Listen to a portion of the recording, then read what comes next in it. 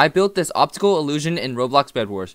There are two hearts. Which heart seems darker? You guys would probably think the one on the top right looks a lot darker, but if I zoom all the way in,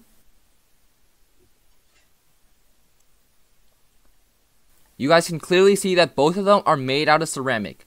The reason you guys are thinking that one on the top right looks a lot darker is because it's next to a lot of green, which makes the heart look darker, while the one on the bottom left has a lot of white surrounding it, which makes it look a lot lighter. So if I zoom back out, you guys can start to see that the one on the top right is a lot darker than the one on the top left. If you guys enjoyed this video, please remember to subscribe, and thank you for watching.